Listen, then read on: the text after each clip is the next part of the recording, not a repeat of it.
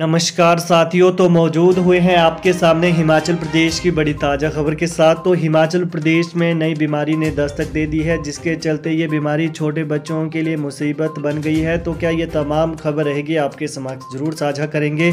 तो आगे बढ़ने से पहले हिमाचल प्रदेश की ताज़ा खबरों को पाने के लिए चैनल को आप ज़रूर सब्सक्राइब कर लें।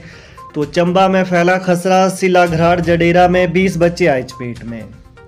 विधानसभा क्षेत्र चंबा के सिलाघराट और जडेरा में खसरा फैल गया है। अब तक इन दोनों इलाकों में 20 बच्चे रोग की चपेट में आ चुके हैं। संक्रमित बच्चों को दवाई देकर परिवार से 10 दिन के लिए अलग किया जा रहा है। इन बच्चों को होम आइसोलेट किया गया है। स्वास्थ्य विभाग दोनों इलाकों को फ्लैगड एरिया घोषित कर दिया है और संक्रमित बच्चों की पहचान के लिए विभागीय टीमें घर घर जाकर निरीक्षण कर रही हैं।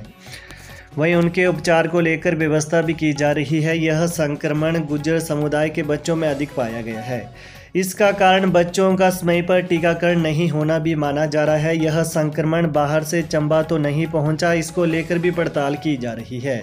इसके लिए विभागीय टीमें संक्रमित बच्चों के यात्रा इतिहास का पता लगा रही हैं। संक्रमित मिला एक बच्चा बद्दी के नालागढ़ से चंबा पहुँचा है।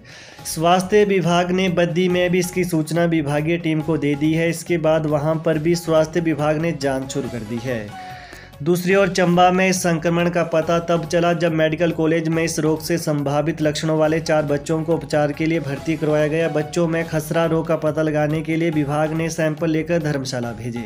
बता दें कि प्रयोगशाला में खसरे की पुष्टि हुई, जिसके बाद विभाग ने इसकी सूचना राज्य सरकार को दी। सरकार ने संबंधित क्षेत्रों को फ्लैगड एरिया बनाने के निर्देश दिए। इसके चलते विभागीय टीमें रोज़ाना सिलाघराट, जडेरा और साहो में जाकर संक्रमण का पता लगा रही हैं। यह अभियान 28 दिन चलेगा। तो कुल मिलाकर यही है बड़ी खास खबर कि हिमाचल प्रदेश के चंबा ज़िले में खसरा फैल गया है, जिसके चलते सिलाघाट, जडेरा में 20 बच्चे इसकी चपेट में आए हैं। तो अभी के लिए यही है बड़ी खास खबर। तो प्रदेश की ताज़ा खबरों को पाने के लिए चैनल को आप ज़रूर सब्सक्राइब कर लें। धन्यवाद।